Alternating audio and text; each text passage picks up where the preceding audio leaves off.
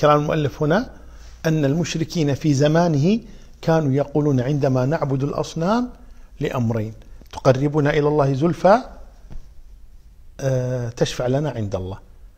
قال الله عاب هذا على الكفار. أن هذا قول الكفار ما نعبدهم إلا ليقربون الله زلفى. وعاب ذلك على الكفار لما قالوا آه، ويقولون هم شفعاؤنا عند الله. فقال له إذا القرآن يكذبكم. يقول الشيخ محمد عبد الوهاب رحمه الله تبارك وتعالى. فإذا الله تبارك لا يوصل إليه عن طريق أحد وإنما يوصل إليه مباشرة. يقول أهل العلم من جمال القرآن الكريم أو الله تبارك وتعالى وإذا سألك عبادي عني فإني قريب. قالوا حتى هذه لم يقل فقل لهم إني قريب. قال خاطب الناس مباشرة قال إني قريب. لا تذهبوا إلى أحد. لا تجعلوا واسطة بيني وبينكم وقال ربكم ادعوني أي مباشرة. ادعوني أستجب لكم دون واسطة من أحد.